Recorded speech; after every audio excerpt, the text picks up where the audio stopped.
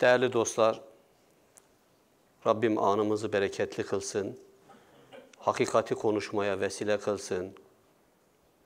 Allah'ın bize nimet olarak gönderdiklerini ifade edip, bu nimetlerin kadrini ve kıymetini bilerek üzerimizde çoğaltmayı Rabbim nasip eylesin inşallah. Geçen haftaki yani bundan önceki hutbemde din kültür ilişkisini ifade ederken dinin hayat içerisindeki anlam ve önemini dile getirmiştik ve Kur'an'ın ifadesiyle Müslümanların dine ihlaslı bir şekilde yönelmeleri gerektiğini ifade etmiştik. İnşallah bugün dine ihlasla yönelmek nedir? Ve bu çerçevede din kültür ayrımını nasıl gerçekleştiririz? Gelenek, örf bunlar ne anlama gelir? İnşallah bunları vaktimiz el verdikçe sizlere aktarmaya çalışacağız. Hutbeme giriş olarak Maide suresinin 104. ayetiyle girmek istiyorum. وَاِذَا قِيلَ لَهُمْ تَعَالَوْا إِلَى مَا أَنْزَلَ اللّٰهُ وَإِلَى الرَّسُولِ قَالُوا حَسْبُنَا وَمَا وَجَدْنَا عَلَيْهِ آبَاؤُنَا اَوَلَوْ كَانُوا آبَاؤُهُمْ لَا يَعْلَمُونَ شَيْئًا وَلَا يَهْتَدُونَ ve izâ qîle lehum.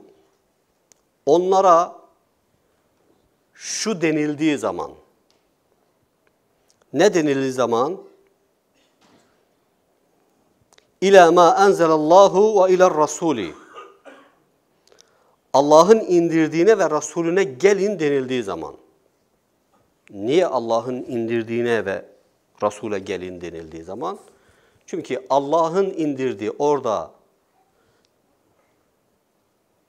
norm, Resul'ün ise o normu uygulayan bir pratik olduğudur.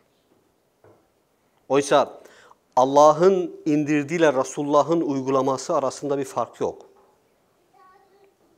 Bu kürsüden hitap eden hatiplerimizin hepsinin hemen hemen Nebi ve Resul farkını, anlamını hepiniz bilirsiniz. Çünkü sizler Kur'an talebesisiniz, bizler Kur'an talebesiyiz. Kur'an'da bir kavram farklıysa bu farklı olan kavram, iki kavram aynı anlama gelmez. Resul risaletle alakalıdır. Resul elçiliktir. O yüzden elçiliğin bağlı olduğu ana makam vahidir. Size bir vahiy geldiği zaman ve vahyi size o Resul bildirdiği zaman Resul'e uyun diyor Allahu Teala. Hem kaynağa uyun hem kaynağın getirdiği elçiye uyun. Peki onlar ne derler? Nasıl bir karşılık verirler? Kalu onlar derler ki hasbuna bize yeter. Ne yeter bize? Ma vecedna aleyhi abauna. Atalarımızın bulunduğu yol bize yeter. Ya da atalarımızın üzerinde bulduğumuz inanç bize yeter. Kur'an onlara dönüp der ki: "Evelev kana abahum la ya'lemune şey'en ve la yehtedun." Sizin atalarınız hiçbir şey bilmeyen ve doğru yolda olmasalar da mı? Kur'an'ın bu ilkesini unutmayın. Kur'an'ın bu bu sahnesini unutmayın. Bu sahnenin geçtiği anı, durumu bugüne getirerek güncelleyelim değerli dostlar. Ne demek istiyor vahiy? Kur'an'ın indiği toplum kendisini daha önce hiçbir dine mensup kılmayan bir toplum değildi. Yani dinsiz bir topluluk değildi. Çok tanrılı inanca sahip olan, tırnak içerisinde söylüyorum, Roma gibi işte e, farklı medeniyetler gibi inanca sahip olan bir topluluk da değildi.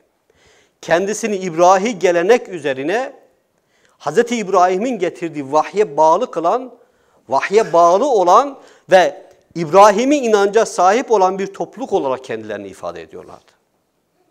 O yüzden namaz kılıyorlardı, hac yapıyorlardı, oruç tutuyorlardı, kurban kesiyorlardı. Yani dinsiz bir topluluk değildi. Bir gelenekleri vardı, bir örfleri vardı. Geçmişten gelen inançsal olarak uygulaya geldikleri şeyler vardı. İşte Kur'an kendilerine atfettikleri bu geleneği, bu örfü, bu inancı eleştirerek işe başladı.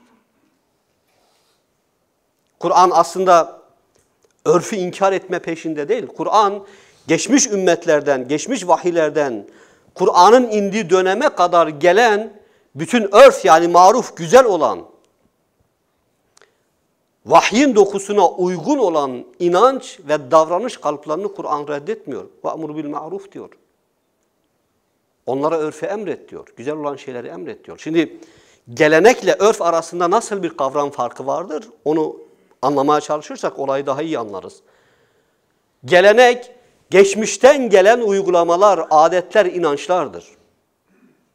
Maruf ise, örf ise o inançlar içerisinde doğru dediğimiz merciğin onayladığı ve gerçek olarak kavramsallaştırdığı şeylerdir. Kur'an geleneği kabul etmedi. Kur'an gelenek içerisinde örf, maruf olan şeyleri onayladı ve bunları devam ettirdi. Ceziretül Arap, Arap topluluğunda, Arap topluluğunda ya da Kur'an'ın indiği toplumsal yapı içerisinde Kur'an bu toplumun davranışlarını ıslah ederken bu toplumun davranışlarının tümünü reddetmedi. Kimilerini aldı aynı şekilde uyguladı. Kimilerini aldı ıslah etti. Kimilerini ise tamamıyla değiştirip onun yerine yeni şeyler ihdas etti. Hutbemizin zamanı ve vakti bunlara yeterli değil. İyileştirerek bunları devam ettirdi. O yüzden Kur'an bir inanca karşı durdu. Ve Kur'an'ın karşı durduğu inanç kendisini vahye, dine, Allah'a atfeden bir inançtı. Peki bugün günümüz, bu ayeti bugün günümüzde nasıl uygulayabiliriz? Bu ayeti bugün günümüzde kendisini İslam'a nispet eden ve İslam üzerinde kendisini ürettiğini,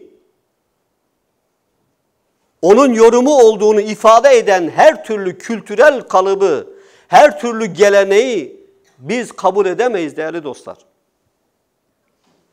Bunu Allah'ın dinine götürerek, vahye sunarak, vahiden onay alarak ancak biz bunları kabul edebiliriz. İşte bu çerçevede kültürel eleştirimiz geçerlidir.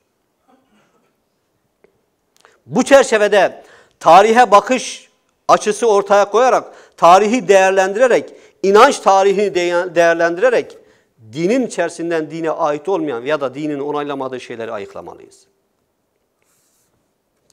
Hemen yeri gelmişken Maide suresinin 3. ayetini burada okumak lazım değerli dostlar. Nedir bu?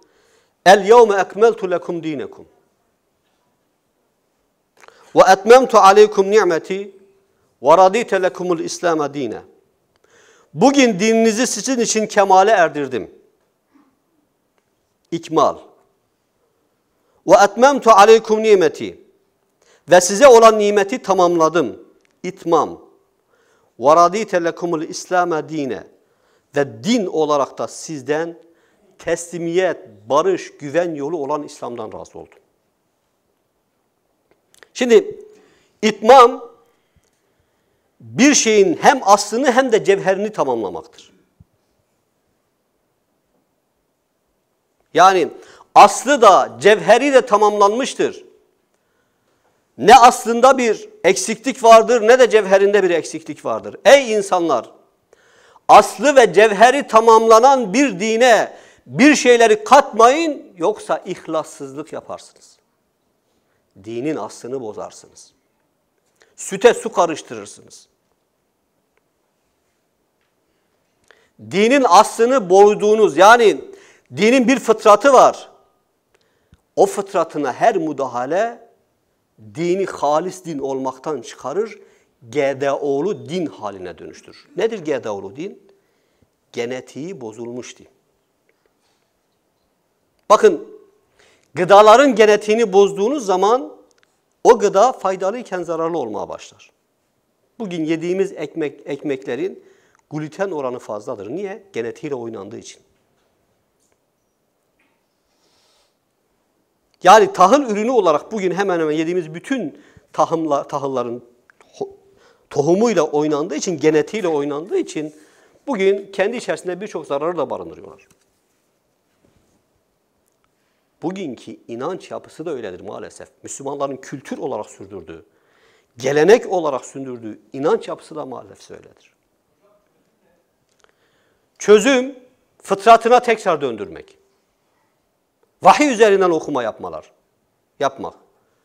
Kur'an'ın anlam verdiği kavramları Kur'an'ın verdiği anlam üzerinden algılamak.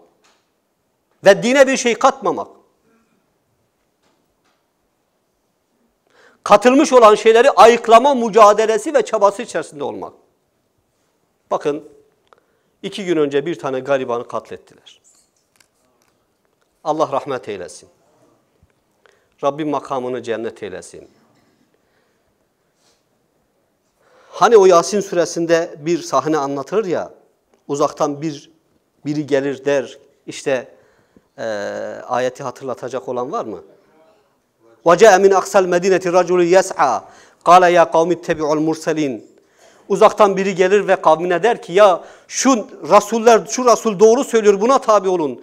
Bunun dediklerinde, bunun ifade ettiklerinde hakikat vardır. Aynen uzaktan geldi ve burada bugün bu çağrı yaptı bu yiğit insan.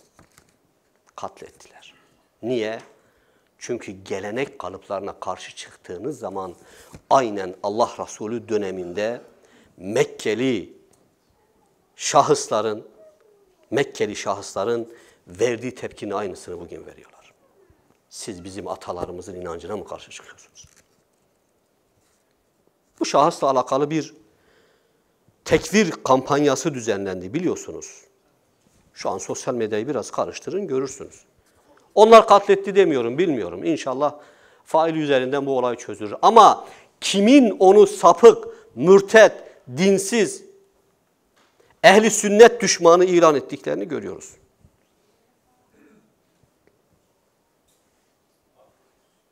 Tasavvufçu veya tasavvufi camianın nasıl şahsı ötekileştirdiğini görüyorsunuz.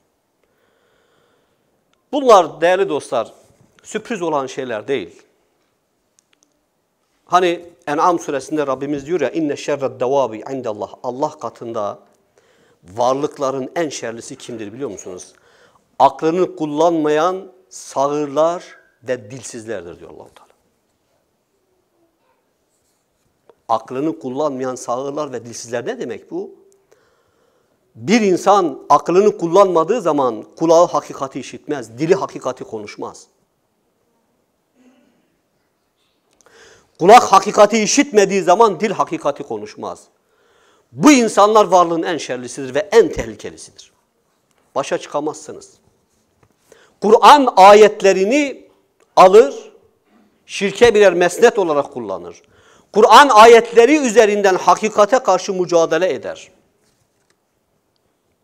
Hatta yeri gelir Kur'an ayetlerinin mızraklarının başına takarak sizinle savaşır. O yüzden bu din değerli dostlar itmam olmuş bir dindir. Peki ikbal nedir? Aslı tam olmakla birlikte noksan olan detayın tamamlanmasıdır. Aslına bağlı kalarak. Yani itmama tamamlanmış olana bağlı olarak ikmal etmek lazım. Çoğaltmak lazım. Nimeti genişletmek lazım. Nimeti anlamak için çaba üretmek lazım. Eğer anlamak için biz nimeti anlamak için çaba üretirsek Allah o nimeti üzerimizde daha fazlalaştırır.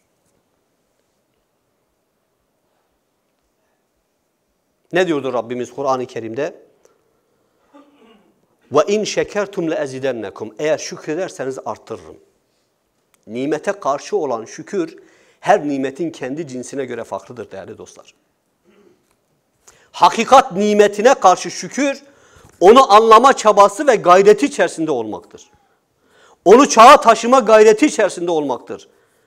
Eğer bu gayret içerisinde girersek Allah o nimeti üzerimize çoğaltır. Aksi mi? Aksi İsra suresinde Rabbimizin ifade ettiği gibi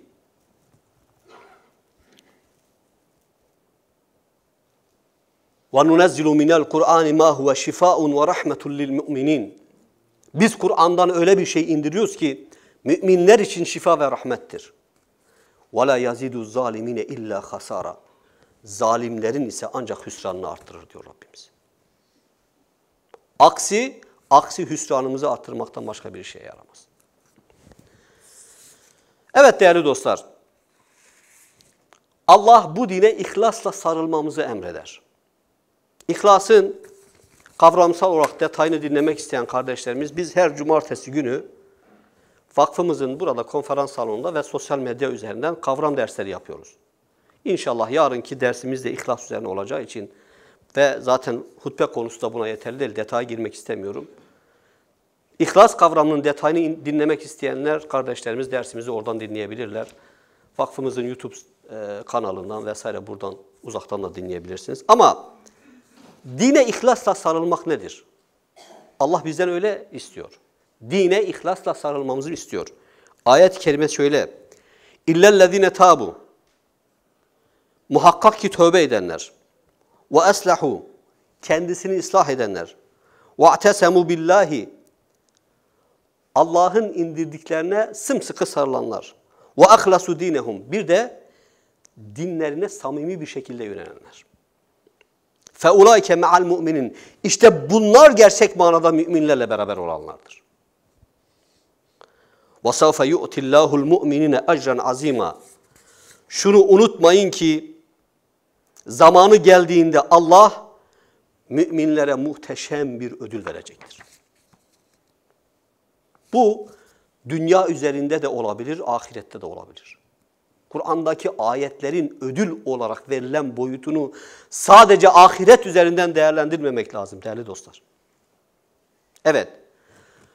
Bundan hiç şüphemiz yok. Allah ahirette müminlerin işledikleri amellerinden dolayı, inançlarından dolayı, tevhid inançlarından dolayı onları ödüllendirecek. Ama dünyada da ödüllendirecektir. O yüzden Rabbimiz bize dine ihlasla yönelmemizi ister. İhlasın genellikle bizim zihnimizdeki oluşan anlam boyutu nedir değerli dostlar? Duygusal olarak samimi olmak. Duygusal olarak samimi olmak. Aslında bu ihlasın geldiği anlam süreçlerinden bir boyutudur. O da samimiyettir. Samimiyet nedir biliyor musunuz? Samimiyet kendisini bir şeye atfettiği halde farklı bir şey yapmak. Ne diyor Kur'an? Niçin yapmadıklarınızı yapın diyorsunuz. İşte bu samimiyetsizliktir, bu ihlassızlıktır. Ama gerçek manada kavramın bütünsel anlamı içerisinde Kur'an'ın ihlas olarak ele aldığı şey duygu değil, aklidir. İtikatla ve inançla alakalıdır. Halas, bir şeyden kurtulmak demektir. İhlas, ihlas bir şeyi saf haline döndür döndürmek demektir. Dolayısıyla aklın ve iradenin ihlaslı olma noktasında müthiş bir etkisi vardır. İrade güçlenince ihlas da güçlenir. Bunun zıddı ise şevktir. Şevk nedir biliyor musunuz? Karıştırmak, kirletmek ve saflığını bozmaktır. O yüzden şaibe diyoruz. Bir şeye şaibe karıştırmak aslında orada var olan hakikati kapatmaya çalışmak, var olan gerçeği kapatmaya çalışmaktır. Dolayısıyla halis, özne veya öznelerin kendilerine haslığını, içinde yabancı bir şey veya kişiler barındırmadığını ifade eder. Dolayısıyla değerli dostlar, mesela İhlas suresi var Kur'an'da. İhlas suresi aslında orada duygusal bir saflığı değil, akidevi inançsal olarak bir saflığı ifade eder. Kul huvallahu ahad. De ki Allah birdir. Lem yelit ve lem yulet. Allah doğmamıştır ve doğurulmamıştır. Bakın ifade edilen şeylerin hepsi aslında tevhidle alakalıdır. Dolayısıyla dine ihlasla yönelmek demek, inancı Allah'a has kılarak tevhide noktası noktasına, virgülü virgülüne bağlı kalmak demektir. Çünkü akide usulle alakalı bir şey değildir, esasla alakalı bir şeydir değerli dostlar. O yüzden hani bizde bir şeyi titiz bir şekilde yerine getirme noktasında ne der, ne denir? Veya bir şeye titizle, titizlikle riayet etme noktasında ifade edilirken noktasına ve virgülüne dikkat etmek demektir. Evet, akide ve inanç noktası öyledir değerli dostlar. Tevhidin noktasına ve virgülüne kadar her şeyine riayet ederek algılamak lazım. Çünkü hakikatle alakalı kaçırdığınız bir detay, ihmal ettiğiniz bir şey sizi Allah'ın halis dininden uzaklaştırabilir. Diyelim ve konumuzu burada noktalayalım değerli dostlar.